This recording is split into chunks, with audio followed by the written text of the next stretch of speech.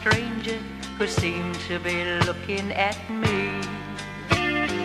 He looked familiar, but I couldn't place him, and I wondered who could he be.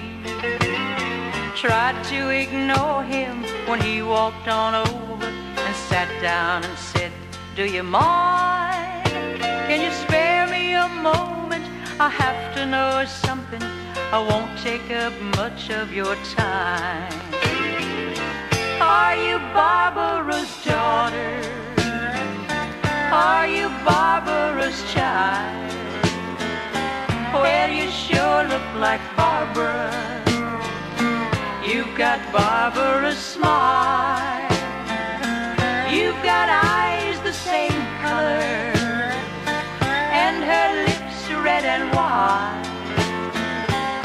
Are you Barbara's daughter?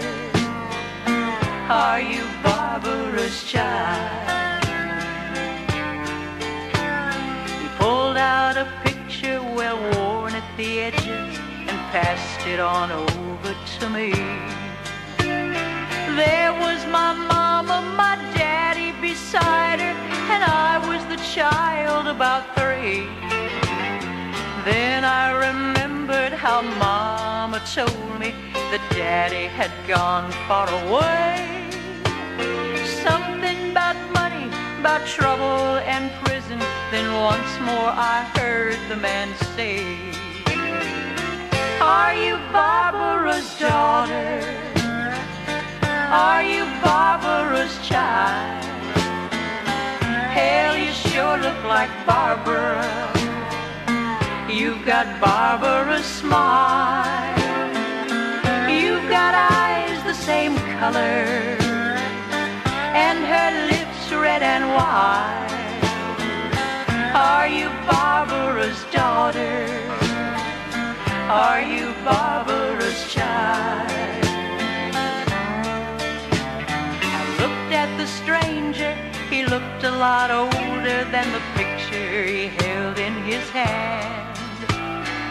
I couldn't breathe, it was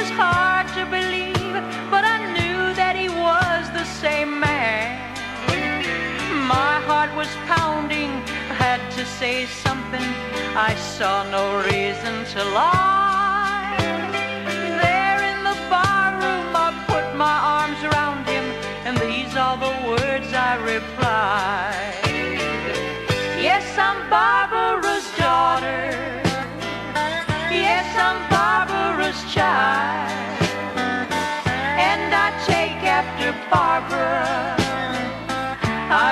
Barbara's smile.